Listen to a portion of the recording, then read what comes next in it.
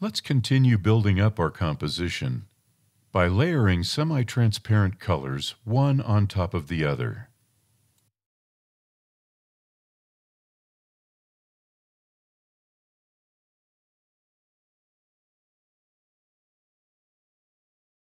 At this point, we can begin to add fine line detail to our close-up objects.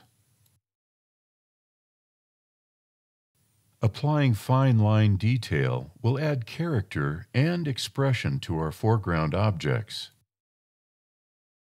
Primarily, fine line detail will be added to the shaded areas of our composition.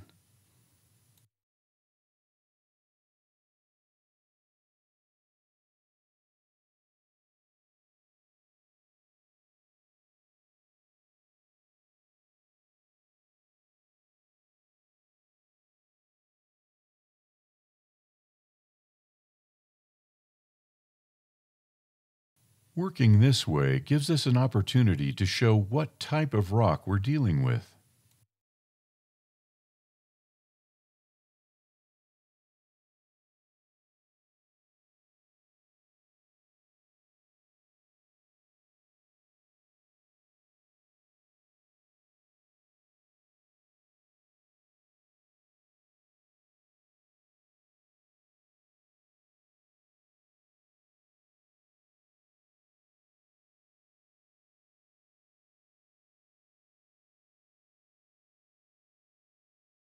As the application begins to bog down again, let's render this out and write over the previous JPEG background file. Delete the foreground vector file and then create a new one to start afresh. As we move from foreground to middle ground, we will want to work with a more transparent version of this same color.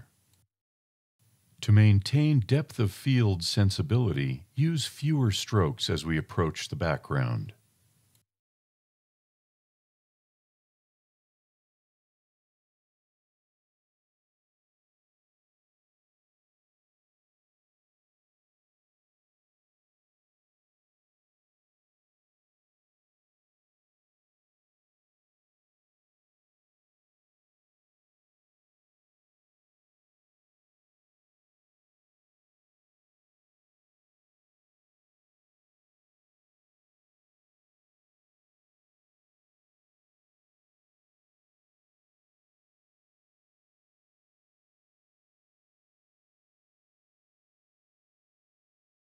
We can provide more dimension to all our objects in the scene by using a bright highlight color.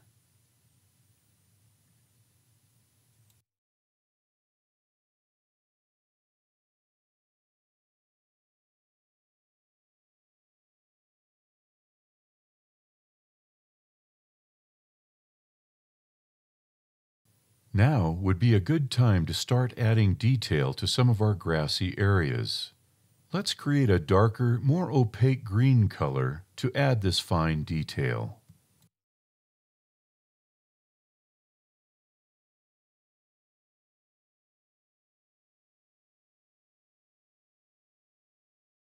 Because so many vector lines are being created, we'll need to resave our composition soon and then reload it into the background.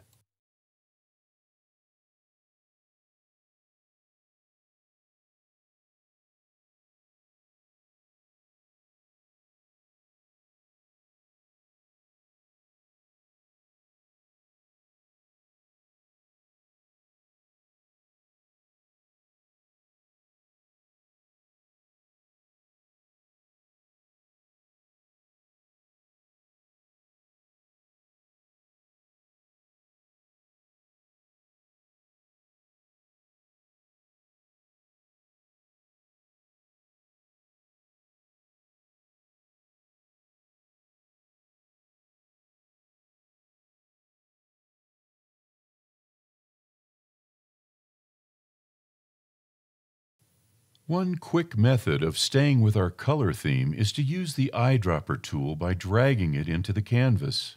Resize your brush and give our environment more areas of life. Applying this transparent shade can also help us by toning down some of the more overbearing parts of the grass texture.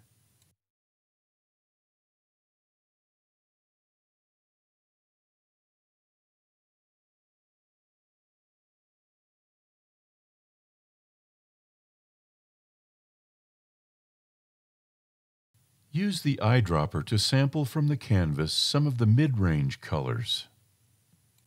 We'll now use this to create some rocks in the foreground.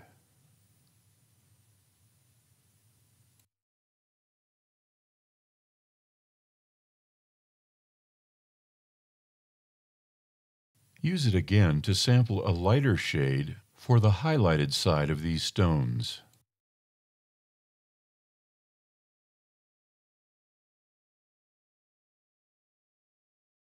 Here we'll use the same eyedropper to sample a darker shade for adding some detail to these stones.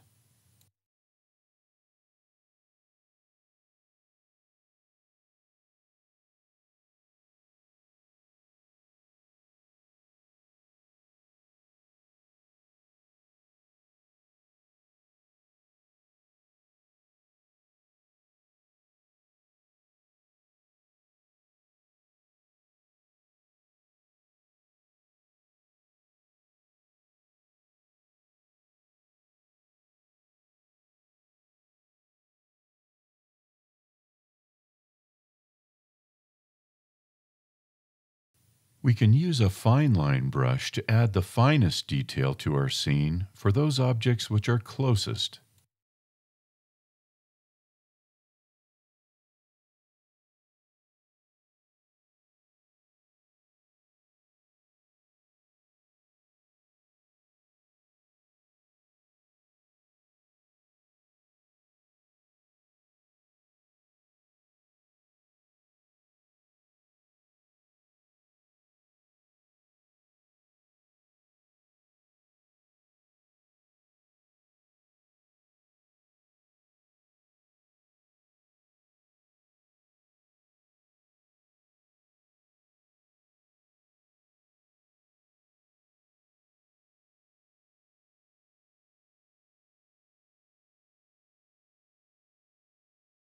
Lots of vectors means it's time to save the composition again and then reload it into the background.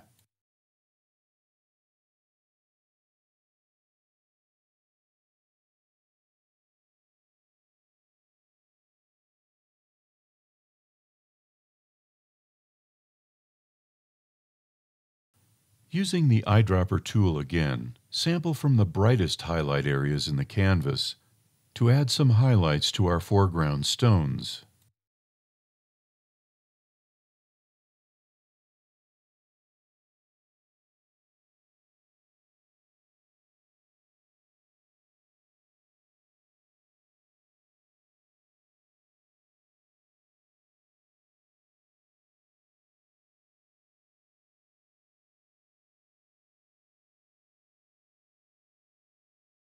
Use the eyedropper to sample a middle hue and then lower its transparency.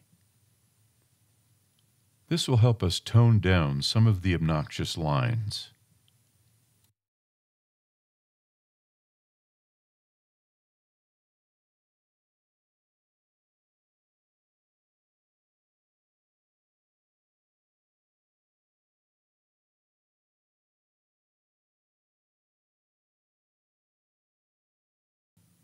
Now, we'll create a transparent blue-gray color to add coolness to our shadows.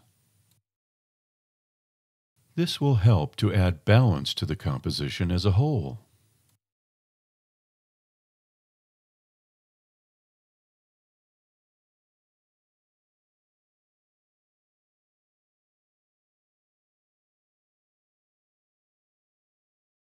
Apply this shade both to the foreground and to the middle and background shapes.